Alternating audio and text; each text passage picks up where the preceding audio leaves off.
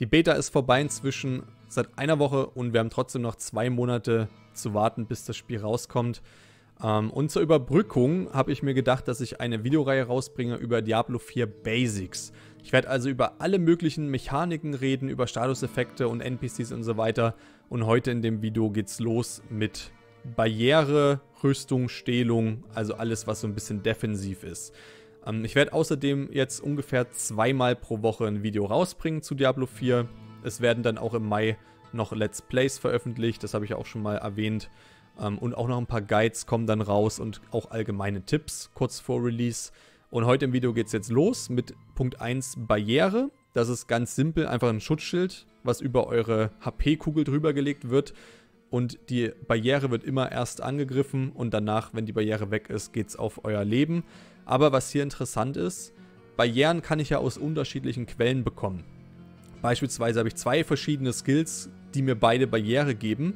Oder ich habe einfach einen legendären Aspekt, der mir Barriere aufbaut durch irgendwas. Und die Barrieren werden parallel getrackt. Ich kann also verschiedene Barrieren gleichzeitig haben. Da sehen wir hier auch bei den Bildern, denn links oben habe ich eine doppelte Barriere, nenne ich das jetzt mal, und rechts oben habe ich nur eine einfache Barriere.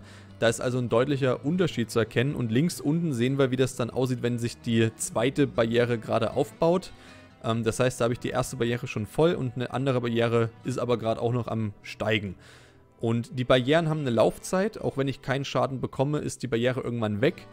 Und die Laufzeiten, und das ist nämlich jetzt interessant, die werden für jede Barriere einzeln getrackt. Also auch wenn ich eine zweite Barriere aufbaue, wird die, äh, die Laufzeit der ersten Barriere, die schon aktiv ist, nicht ähm, verlängert, sondern die läuft dann auch aus, obwohl ich schon eine zweite Barriere habe. Ähm, das ist also ziemlich wichtig für alle Builds, die halt mit Barriere arbeiten, die vielleicht davon ausgegangen sind, dass sie ihre Barriere immer höher und höher und höher bekommen, aber so ist es nicht, weil die halt auch auslaufen, ja, obwohl er die immer wieder neu macht.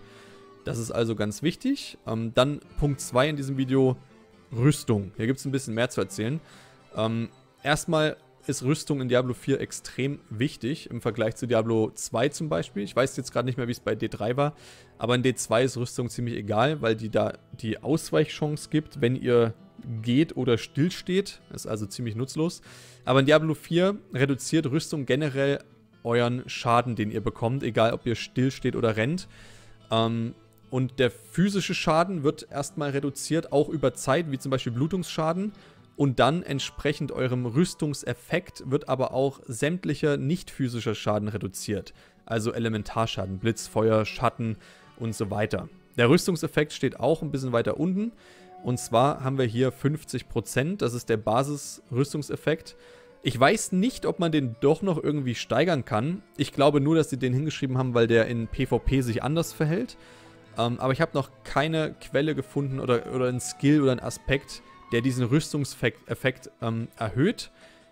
Das heißt also, wenn ich zum Beispiel jetzt so viel Rüstung habe, dass ich 10% physischen Schaden reduziere, dann würde ich meinen nicht physischen Schaden um 5% reduzieren. Ganz simpel.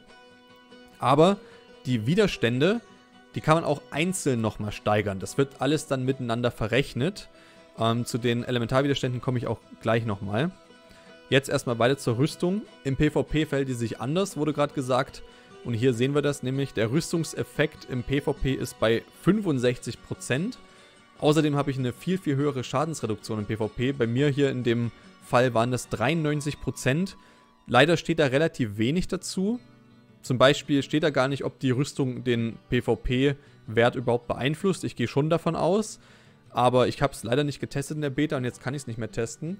Und außerdem weiß ich hier auch nicht, ob es einen Basiswert gibt von zum Beispiel 90% oder so.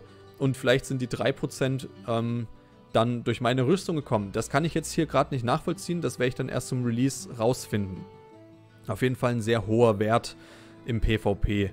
Das war auch in Diablo 2 schon so, damit das dann irgendwie ein sinnvolles System wird ähm, und man nicht immer mit jedem Spell sofort stirbt, ist das halt für PvP dann immer ein bisschen anders. Dann wurden im Quartalsupdate solche Charts hier geteilt. Wirkt erstmal kompliziert, aber ich erkläre das mal, das ist nämlich ganz simpel. Ähm, hier steht Schadensreduktion von erwarteter Rüstung.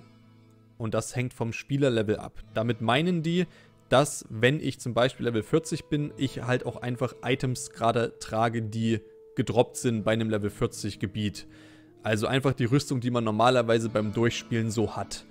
Und die wird dann immer mehr. Das ist die Y-Achse. Also wenn ich mit Level 1 meine erwartete Rüstung habe, bin ich bei 13% Schadensreduktion. Mit Level 100 wäre ich aber schon bei ungefähr, ich glaube, 42 oder 41% sind das hier. Das heißt also, die Schadensreduktion, die steigt, wenn ich mein Gear immer wieder austausche. Der Sinn dahinter ähm, ist vermutlich einfach, dass die Schadenszahlen nicht so hoch sind. Ähm, die, das war zumindest von den Devs eine Begründung. Allerdings haben wir in der Beta auch schon äh, 300.000er Hits gesehen. Also werden wir garantiert im Endgame wieder im Millionenbereich landen. Was ich nicht ganz so geil finde. Ähm, ich verstehe nicht, warum man so eine hohen Zahlen da immer erreichen muss. Das geht auch, auch mit niedrigen Zahlen. Der zweite Chart ähm, ist der, die Schadensreduktion, die pro Punkt in Rüstung dazugerechnet wird und das abhängig vom Spielerlevel. Und das hier besagt, dass, dass, ähm, dass die Rüstung, wenn ich jetzt mit einem Level, mit Level 1 oder mit Level 20 2000 Rüstung habe und ich habe mit einem höheren Level immer noch genau dieselbe Rüstung von 2000, dann habe ich weniger Schadensreduktion. Also die Rüstung wird weniger effektiv, je mehr Level ich habe. Ich muss also dann dringend meine Rüstung auch wirklich steigern mit diesem Gear, was halt gerade dann in dem Gebiet droppt, wo ich farme. Also man darf sich dann nicht auf seinem Gear zu lang ausruhen. Man sollte schon auch die Rüstung immer weiter steigern, sonst ist man irgendwann tot. Und das hier sagt einfach nur, dass das Spielerlevel den Effekt reduziert von der Rüstung. Trotzdem, der erste Chart ist ja auch noch relevant. Ich kann mehr Schadensreduktion erreichen mit höherem Level und gleichzeitig wird aber jeder Punkt in Rüstung weniger effektiv. Das heißt, ich muss wirklich immer mehr und mehr und mehr Rüstung bekommen. Ich bekomme also nicht mit äh, alle 10 Level 1000 Rüstung mehr, sondern vermutlich muss ich dann, äh, ist das so eine exponentielle Kurve. Also die Rüstung, die steigt dann exponentiell auf den Items. Aber das ist jetzt erstmal relativ egal. Und der dritte Chart war das Angreiferlevel. Also wie viel Rüstung habe ich, wie, wie viel Schadensreduktion habe ich gegen Angreifer mit dem Level X und hier haben sie als Beispiel genommen, dass man 2000 Rüstung hat und je höher das Angreiferlevel ist, desto weniger Effekt hat meine Rüstung. Es spielt also nicht nur mein eigenes Level eine Rolle, sondern auch das Angreiferlevel.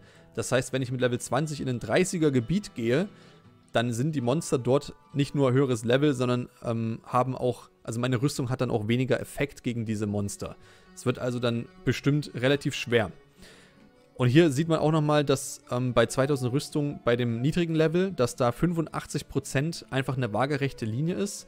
Könnte mir vorstellen, dass einfach die 85% das Maximum sind in PvM, ähm, weil es ja auch schon ein sehr hoher Wert ist, den man bestimmt nicht erreicht später. Aber mal schauen, da lasse ich mich überraschen. Also das sind einfach die Sachen, die man wissen muss. Angreiferlevel spielt eine Rolle, das Spielerlevel spielt eine Rolle und ähm, die Rüstung muss immer schön weiter nach oben gehen, damit ich auf die 40% oder mehr komme am Ende. Dann gehen wir zu Punkt Nummer 3 und zwar Stehlung. Stehlung ist ein Effekt, der, ich glaube beim Barbar ist er definitiv und ich glaube beim Druiden. Ich weiß nicht, ob ich auf anderen Charakteren schon mit Stehlung zu tun hatte, wenn dann über legendäre Aspekte. Aber beim Barbar und beim Druiden auf jeden Fall relevant. Und zwar gibt es einmal die Stehlung an sich. Die baut ihr auf durch eure Skills. Das steht dann da, dass ihr zum Beispiel, wenn ihr zuhaut, 10 Stehlung oder so bekommt. Und wenn ihr dann mehr Stehlung als Leben habt, dann werdet ihr gestählt. Und gestählt heißt, dass ihr dann 10% weniger Schaden bekommt. Und diese 10% kann man auch erhöhen durch Paragon-Punkte oder Items. Es kann also auch sein, dass ihr später da mal eine 30% oder so stehen habt. Ähm, hier bei dieser Beschreibung, die ist ja, dieser Screenshot, die ist ja aus dem Skillbaum. Und dort seht ihr immer nur diesen Basiswert. Zum Beispiel bei ähm, verletzt oder wie heißt das? Ne, verwundbar steht ja immer, die bekommen 20% mehr Schaden. Aber das ist nur der Basiswert. Ihr müsst dann in euren ähm, Charakterstatistiken mal nachschauen, wie viel es wirklich ist. Denn nur dort ähm, seht ihr die aktuelle Zahl. Und zur Stehlung muss man dann noch wissen, wie das eigentlich aussieht. Und zwar sieht man links in Bild 1 dort baut sich gerade die Stehlung auf. Und zwar ist das auch wie bei einer Barriere einfach so eine Schicht, die sich über eure HP-Kugel drüber legt. Das ist aber nicht dieser rote Rahmen im ersten Bild. Der steht für einen anderen Status und zwar steht er für den Status gesund. Den ähm, erkläre ich noch in einem anderen Video. aber der ist hier für die Stählung erstmal irrelevant. Es geht also wirklich nur um diese, über diese glasige Schicht oder wie ich, ich weiß nicht, wie ich es beschreiben soll, die sich über die HP nochmal drüber legen. Und wie ich erkenne, ob ich gestählt bin, das wäre dann das Bild Nummer 2. Dort sind nämlich meine Hitpoints unter diese Stählung gedroppt und dann sieht das so aus. Und Bild 3 ist einfach ein normaler HP, äh, eine HP-Kugel. Und damit ihr einfach mal den Vergleich habt zwischen 2 und 3, also gestählt, erkennt man ziemlich schwer, finde ich. Die HP-Bar, also diese Kugel, die ist einfach ein bisschen kräftiger und am Rand vor allem leuchtet sie ein bisschen rot. Aber wichtig, dieser rote Rahmen Bild 1 hat nichts mit Stählung zu tun. Denn das habe ich am Anfang auch gar nicht gecheckt. Ich musste mir das alles irgendwie ein bisschen selbst zusammenreimen. Ähm, und ich hoffe, dass euch das hier etwas hilft, dann das einfach mal so erklärt zu bekommen. Mir hätte es auf jeden Fall was gebracht und es gibt so in der Form auch auf YouTube noch nicht, äh, wie das mit der Stählung funktioniert. Vielleicht ist es auch einfach für die meisten selbsterklärend gewesen. Für mich war es das aber nicht. Ich musste da erstmal ein bisschen rumforschen. Ähm, und zuletzt in dem Video Einfach weil die Frage öfter kam, kann man ausweichen in D4? Ja, es gibt eine Ausweichchance und die funktioniert genauso, wie man sie sich vorstellt. Also bei direktem Schaden kann man einfach komplett ausweichen. Und die ist komplett abhängig von eurem Geschick. Also je mehr Geschick, desto mehr Ausweichchance habt ihr. 0,025% Ausweichen pro Eingeschicklichkeit. Das heißt, 100 Geschicklichkeit wären 2,5% Ausweichchance. Ähm, vermutlich natürlich auch dann wieder durch irgendwelche Paarungen, Punkte oder so ähm, kann man sie steigern. Und zuletzt kommen wir nochmal zu den ähm, Elementarwiderständen. Und dort funktioniert das in Diablo 4 auch ein bisschen anders, als ich das jetzt zum Beispiel von Diablo 2 kenne. Zum ersten, die einzelnen Elementarwiderstände bilden nur 50% der Reduktion und der Rest entsteht durch die Rüstung. Hier in dem Fall bei 37,4% Blitzwiderstand würde das heißen, dass nur die Hälfte ankommt und das sind 18,7%. Hätte ich jetzt zum Beispiel eine Rüstung, die meinem Charakterlevel entspricht, oder so, könnte es sein, dass ich dann auch nochmal 18,7% durch die Rüstung dazu bekomme oder mehr oder weniger, je nachdem, wie viel Blitzwiderstand ich halt gerade so habe. Auf jeden Fall sind das diese zwei Komponenten, die dann am Ende zusammen addiert werden. Dazu kommt noch der letzte Satz, wenn der Wert steigt, werden zusätzliche Boni weniger effektiv. Damit ist einfach nur gemeint, dass die Blitzwiderstände multiplikativ stacken, während in Diablo 2 das zum Beispiel additiv gestackt hat.